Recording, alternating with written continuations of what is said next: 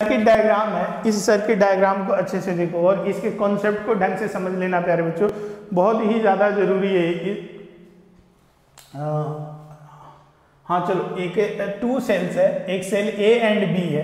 तो ये एक ए है और एक बी है सेल कहता है वोल्टेज इस इसकी वोल्टेज 12 वोल्ट पहले से मेंशन है। ऑलरेडी दिया हुआ है प्यारे बच्चों 12 वोल्ट और R1 की वैल्यू दिया हुआ 500 और आर ए हंड्रेड है। गैल्वेनोमीटर में कोई करंट नहीं शो हो रहा है। इसमें जो रीडिंग है, वो ज़ीरो है, ठीक है?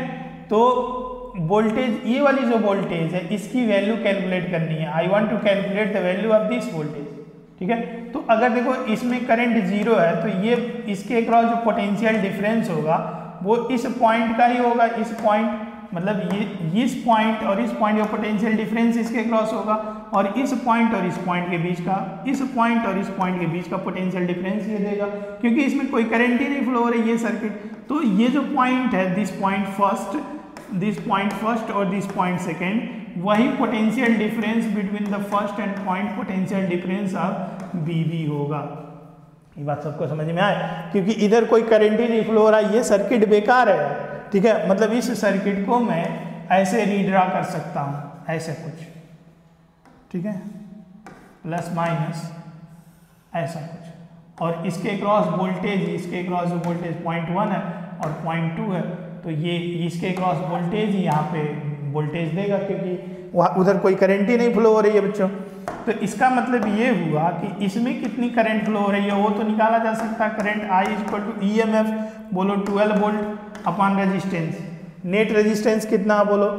Five hundred R one five hundred और हंड्रेड सिक्स हंड्रेड तो five hundred R one plus hundred that is six hundred that twelve upon six hundred that is one upon fifty ampere that is the main current in this circuit तो ये जो है अब इसके cross जो voltage है, इसके cross ये कितना था बोलो?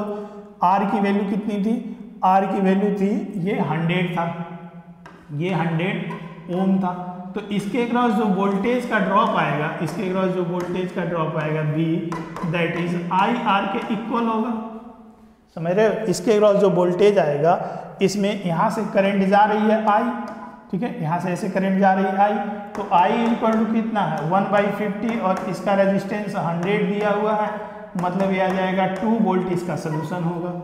This is the B option सही है। दिस सर्किट इज़ मतलब ये इसमें कोई करंट ही नहीं जा रहा है। चलो नेक्स्ट वीडियो